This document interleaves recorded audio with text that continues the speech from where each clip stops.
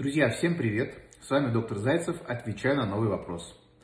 Добрый день! При хроническом танзелите какие показания для промывания лаком небных миндалин? У меня хронический танзелит постоянно обостряется, горло и миндалины гиперемированы, полоскания не помогают.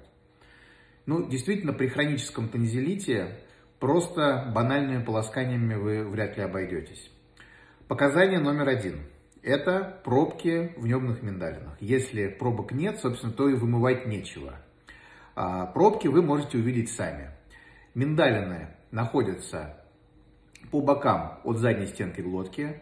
Когда вы открываете рот, вы видите небный язычок, по бокам небные миндалины. А, мы видим вершину айсберга небной миндалины, видим лакуны, это отверстия, дырочки в толще небной миндалины. И если эти отверстия наполнены белесоватым содержимым, который правильно называется казиозный детрит, казиозные массы или казиозные пробки, или тензилогенные пробки, или тензилитные камни, как их еще называют, то это стопроцентное показание для промывания небных миндалин.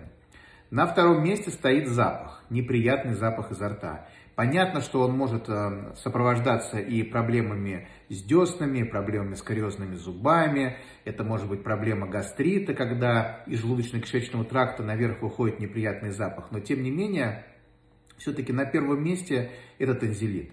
Безусловно, пахнуть может носоглотка и полость носа, если есть проблема риносинусита.